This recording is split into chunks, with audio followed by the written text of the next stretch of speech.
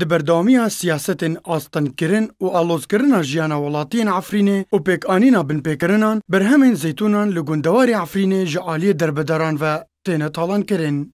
Malpera Rojava News belav kiriye ku hin malbatên derbeder li gundê Naza û gundê Meydankê yên navçeya Şira li gundewarê Efrînê duh roja çarşemê hin berhemên zeytûnan yên her du gundên navbûrî talan dikin.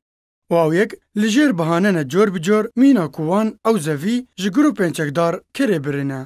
Malpera Navborî daye zanîn ku ji sibeha duh ve malbat ne derbeder berhemên zeytûnan li aliyê rojhelatê riya di navbera Meydankê û Naza de talan dikin û dema welatiyên wan gundan nerazîbûna xwe nîşan dan wan malbatên derbeder bi parastina hin çekdaran gundî ji hev belav kirin. bi bahaneya ku wan ew berhem ji Ebû Ewdî berpirsê Feyleq-i Şam û Ebû Xalid el-Îdlibî berpirsê grûpa en-Nuxba kirê birine.